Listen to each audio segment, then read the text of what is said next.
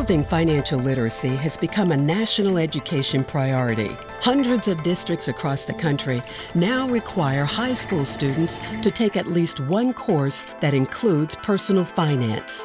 We need to spark young people's interest in earning, saving, budgeting, and investing.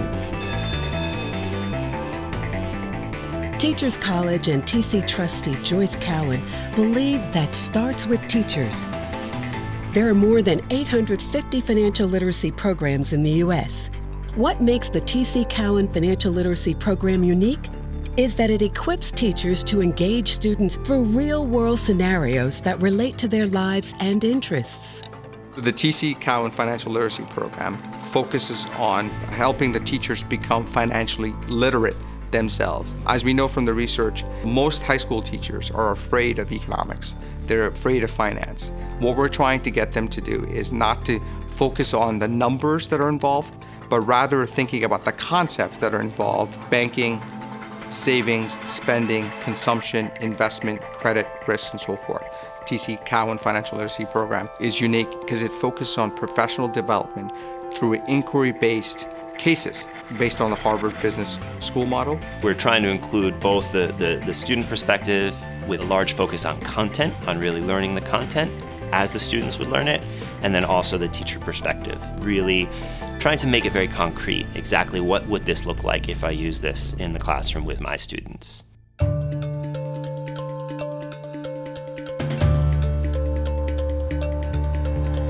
Cases of Jerome, professional football player. We're here to put together a plan for how he manages his money.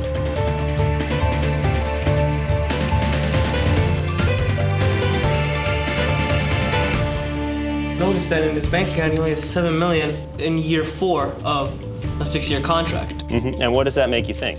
It means that he's spending way more than he's supposed to.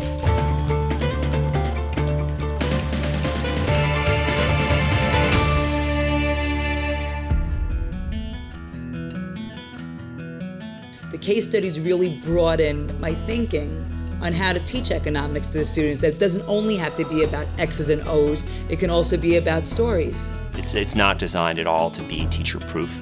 It's actually designed to be something teachers engage with. The toughest obstacle to teaching financial literacy to any student, especially high school students, is that they perceive that it's dry and boring. Oh, this is stuff my parents know, I don't need to know this. When we talk about applying for scholarships, they need to know these things. No, it's not your parents, it's you. You're going to be paying back the loans. I want to buy a car. My family wants to go on vacation. I want to move out. I want to get a phone and pay for it myself. When you're in high school, those are life and death issues. And the beauty of it is integrating it into the work. And that's what makes it so much fun and so exciting for the students and the teacher. We were reading and it said half of the NFL players get divorced. It's 80%. 80%? That's a lot yeah. and a half. So he has to be careful. Well, not careful, but like, does he does he really trust this woman? It's prenup. then you got to think of the actual wedding itself. Mm -hmm. Does he want a Kim K wedding, or does he want a small one? Joyce Cowin, a longtime trustee of Teachers College, funded this work since 2012, uh, generously funded it, is because she wants to change behavior of the American public. And so, and she knows that the best way to do that is through schooling. My students, some of them come from very humble backgrounds. Sometimes teaching them financial literacy it gives them an opportunity, a tool for them to say, maybe I can make it. Maybe I can plan something. Maybe I can achieve something. He's making a lot of money in a short amount of time, so he's living a certain lifestyle, but the money isn't coming as fast when he stops playing. So he can't live that lifestyle when he's not, not playing anymore.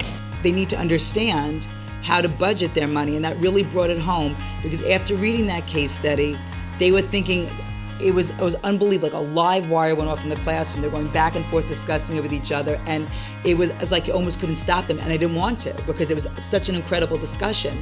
I saw their eyes light up, and that's the whole idea. It's their eyes lighting up when they really get it and they're involved. Unique, effective, inspiring, relevant. The TC Cowin Financial Literacy Program. To learn more about this groundbreaking program, contact Maureen Gralnick at gralnick at tc.columbia.edu or visit www.lootinc.org. A student I had last year said, Mr. Nam, I can't thank you enough. I have money in the bank, I have a job, I have a checking account, I have a credit card, I know how to use it. I would have never had that had you not impressed on me the importance of saving and being aware of your finances. And it made my year.